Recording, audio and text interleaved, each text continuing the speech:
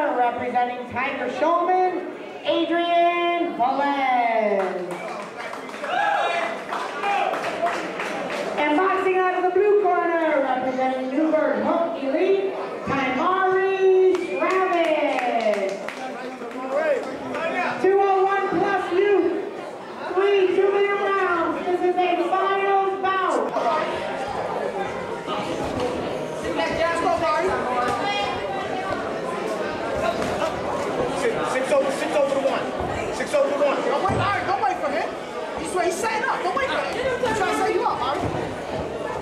right, let's go.